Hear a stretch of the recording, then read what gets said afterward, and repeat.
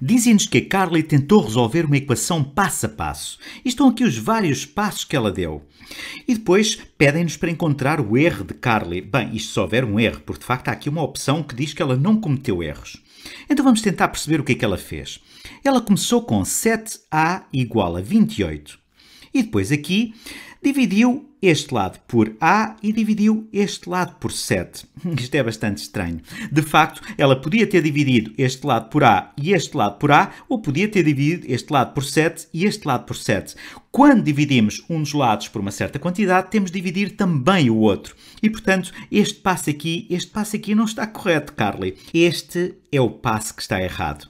De facto, se ela quisesse, por exemplo, resolver aqui em ordem A, o que ela deveria ter feito era dividir este lado por 7 e dividir também este lado por 7. E aí teria chegado à conclusão que o A era igual a 4. Agora, isto ela não pode fazer. Na prática, ela transformou a equação numa outra que não é equivalente. Não podemos dar este tipo de passo. Muito bem, vamos fazer mais um.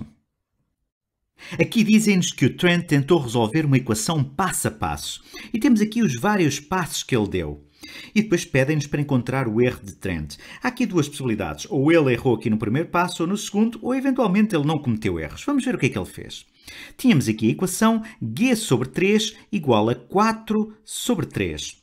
E o que ele fez foi multiplicou aqui o lado esquerdo da equação por 3 e depois multiplicou o lado direito por 1 terço. Isto não está correto.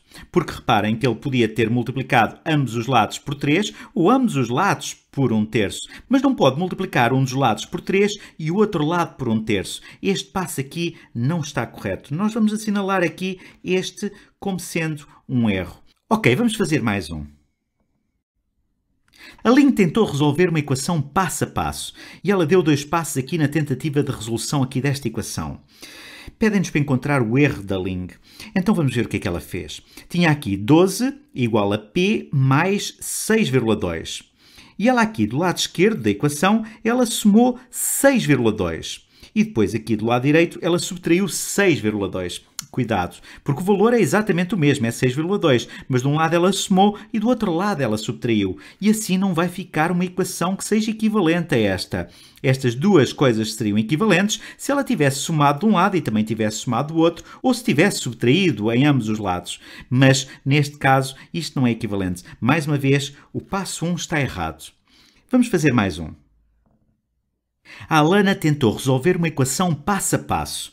Então vamos ver o que é que ela fez. Tinha 4c igual a 12. Reparem que ela dividiu aqui o lado esquerdo da equação por 4, ficou 4c a dividir por 4 e do lado direito multiplicou por 4. Ok, mais uma vez isto não está correto. Ela poderia ter dividido ambos os lados por 4 ou multiplicado ambos os lados por 4, mas não pode dividir de um lado por 4 e multiplicar do outro lado por 4. Portanto, o passo 1 também está errado. Vamos ver ainda mais um. Então, vamos ver o que é que aconteceu aqui. Temos n mais 12 igual a 18,3. E depois, aqui o rico, ele subtraiu, subtraiu menos 12 aqui deste lado da equação. Portanto, ficou n mais 12 menos 12. E aqui do lado direito, ele também subtraiu menos 12. Portanto, isto está correto. Ele pode fazer isto. Depois, eh, aqui 12 menos 12 dá 0 e, portanto, ficou deste lado, do lado esquerdo da equação, ficou simplesmente o n. E aqui do lado direito, 18,3 menos 12. 18,3 menos 12 é 6,3. Hum, cuidado, aqui há um erro. Ele fez aqui um erro de contas. Na verdade, isto não é 5,7, isto é 6,3. Isto está errado. Então, este aqui é o passo que não está correto.